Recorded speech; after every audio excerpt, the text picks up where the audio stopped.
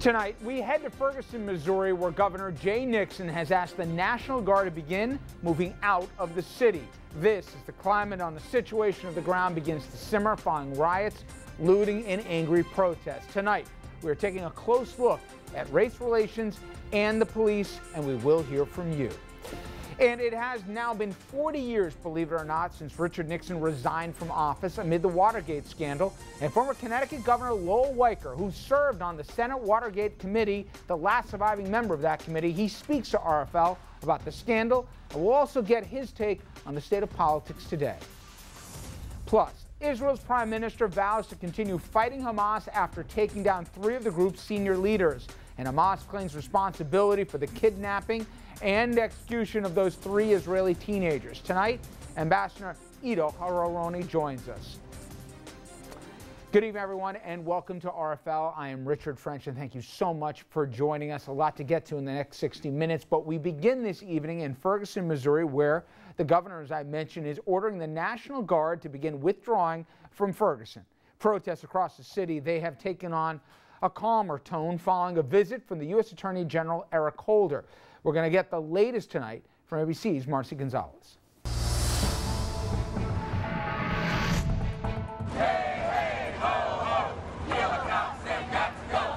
More protests today. Demonstrators not only demanding action against the officer who shot and killed Michael Brown, but calling for a new prosecutor in the case. Presenting a petition they say has 70,000 signatures, calling on Robert McCulloch to recuse himself. People have made a statement to Bob McCulloch that they have no confidence in his ability to be fair and impartial.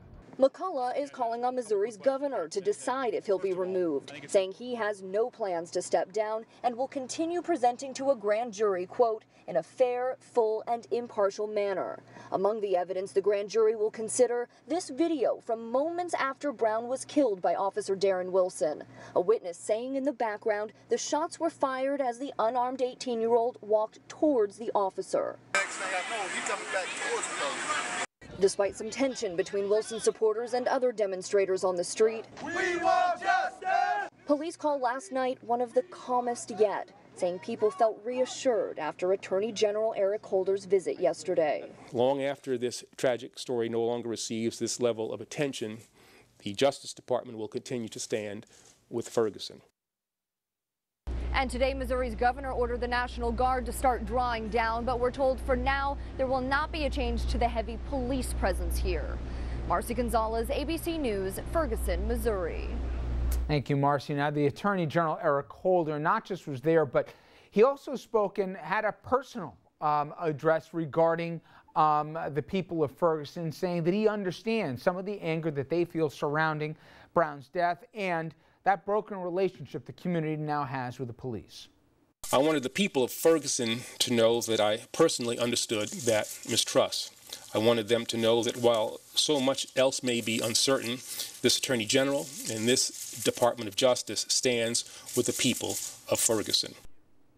Now, he also went on to say, to Mr. Holder, that, quote, I am the Attorney General of the United States, but I'm also a black man. I've confronted this myself. And he reflected on um, his encounters, um, sometimes negative, with the police, saying that years ago he and his cousin were stopped while on their way to a movie theater in Washington. Holder said, At the time they stopped me, I was a federal prosecutor. I wasn't a kid. A federal prosecutor. I worked for the U.S. Department of Justice. He said the encounter left him angry and upset.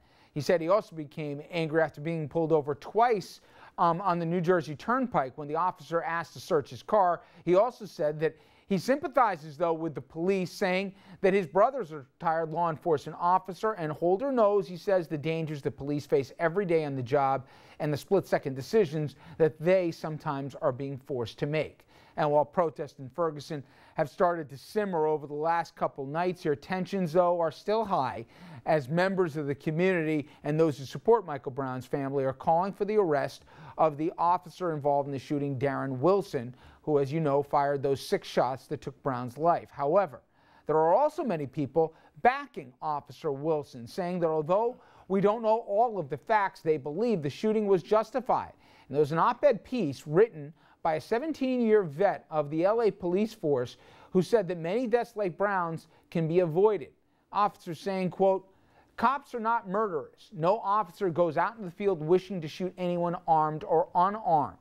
If you don't want to get shot, tased, pepper sprayed, struck with a baton, or thrown to the ground, just do what I tell you. Don't argue with me. Don't call me names. Don't tell me that I can't stop you. Don't say I'm a racist pig. Don't threaten that you'll sue me and take away my badge.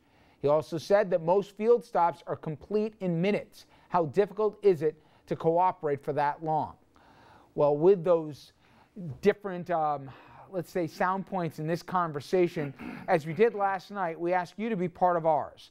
And we got some terrific reaction last night. We couldn't even get to a fraction of the calls um, and some of the social media comments you make. But I'm going to ask you, as we open up our phone lines now, to be part of our dialogue again this evening. You see the toll free number, um, 38 766 2428. And we're focusing on the issue of race and politics. And while I want everyone to share, I particularly would love people, whether they're in law enforcement um, or that they're people of color in this country that can reflect on some of their own personal uh, stories um, and, and, join us, please, in that conversation. I say us because I'm joined um, by uh, the two guys I share this uh, stage with every night. Or set, or whatever you want to call the thing. Uh, I got Andrew Whitman, senior political correspondent, and Dominic, uh, Dominic Carter, political journalist and author. Um, you, you, heard what the Attorney General had to say. Driving while black here also stopped because he's running to get from one place to another and making a point that he wasn't a kid at the time. He was a federal prosecutor in the Justice Department, et cetera. You've talked about some of that yourself. The conversations that have happened in this country for the better part of a week now. Um, I'm sure you've talked to some colleagues you've had over the years who've given their own story of it. This is not as simple as just one shooting in Missouri, is it? No, not at all, Richard. I strongly recommend. Um, you have ties in the black community, and so does Andrew. I strongly recommend that everyone on one Saturday just go to an African American barbershop and listen to what the men there say.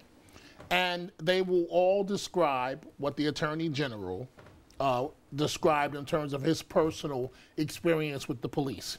Here's the problem disproportionately you have blacks committing crimes or at least convicted for crimes okay? Disproportionately. It doesn't represent what we represent in terms of the population. And so there's a sentiment in law enforcement that many minorities are the ones committing crime. But you cannot make that blanket statement on everyone. I've told you this story. My son has epilepsy biggest teddy bear you could ever meet about my size he was running, uh, Andrew has met him. He was running. See, as a black man, that's almost a crime. He was running to get to a restroom because he has a bladder issue. Police officer in Rockland County stopped him, get on the ground, spread eagle. This is a kid never had any involvement with law enforcement. So now he, he was 15 years old at the time, and what do you think he thinks about cops? The only encounter he had with cops, he was told the officer held his hand on his gun and made him get spread eagle on the ground. And then when he realized that my son wasn't doing anything wrong, it was only then that he was let go. That's not the way to better relations with the community and you know, we've had this conversation, Andrew. I was starting to think about this today when the um, Attorney General talked about. We've talked about driving while black and the New Jersey, New Jersey Turnpike and, and all the data that came out about uh, who was being stopped and, and what they found. We talked about the stop and frisk program and the broken windows uh, idea of quality of life policing, but who it disproportionately impacts. Um, it's going to be very interesting how this plays out from who the prosecutor is going to be and, and, questions about whether or not he's equipped or not. And he said, time out, I've had, I've been elected here with more than 30% margins in every election. Now all of a sudden, I'm not equipped to do this because I'm white and I got some family members who work in law enforcement. This is this is not as simple as maybe some folks want to make it on regardless of somebody's perspective.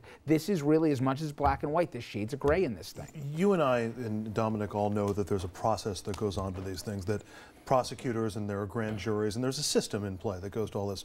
But just like we were talking about with the Garner case, even more so in Ferguson, I think the process matters less to the overall outcome than the result.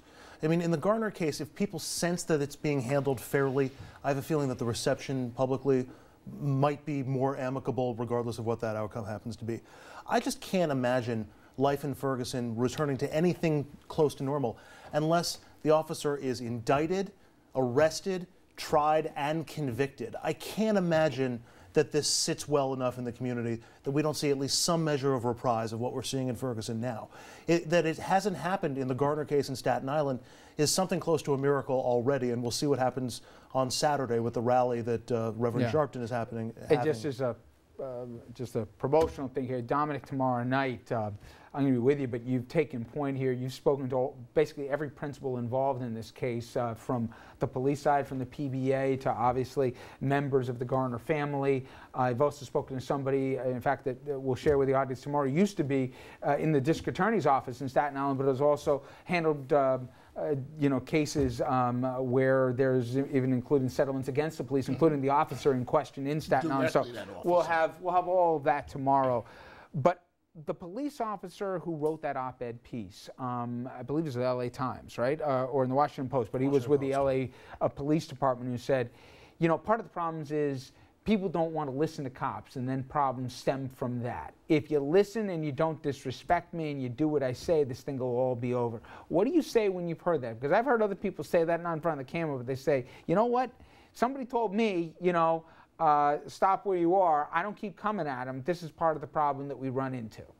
All of us have a lot of respect for police officers, the jobs that Well, they do Do you think that's true? We do at this table. Do you think there is, for whatever Yes. reasons, a lot of communities who, who look at the cops and say, first, they're the enemy in the community, and second of all, I don't respect them. I'm going to tell them as much. Well, I, I, I think any reasonable person does not see a police officer as an enemy because when you're in trouble, what's the first thing you're going to do? 911, you want the police to come to your aid, and they will come to your aid. But somebody needs to talk to these people that are putting out these op eds. They need to get some media advice. He proved in that piece every bit of criticism that people of color have against the police department. We respect the police, but guess what? You're not God. You're not God. And in communities of color, they act like they're some act like they're God, Richard. You can't just order me to or any other person to get spread eagle on the floor and can I can I check your car? Now that's a that's a trick question because legally you can say no in some states. And then they have to uh, find probable cause, get the police dogs, and blah, blah, blah, blah, blah.